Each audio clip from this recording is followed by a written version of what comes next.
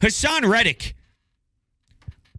I can't remember a season like this. I really can't. He's literally everywhere. Now, Bosa's numbers are crazy. I believe he has 18 or 18 and a half sacks, something like that. But they talk about Micah Parsons like Haason Reddick isn't having a better season. He is.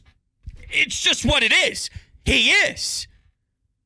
But every time Dallas plays, you can't get another word in because it's Micah Parsons. It's Parsons. Oh, look what they're doing with Parsons. Oh, Parsons. Yeah, I remember Nick Sirianni coming up with a game plan against Micah Parsons where he said, let's attack him all night long. Let's look in his direction and react to the moves he's going to make. Let's read and react. Let's pick on his ass. And that's what they did. And it was ah, a chef's kiss game plan.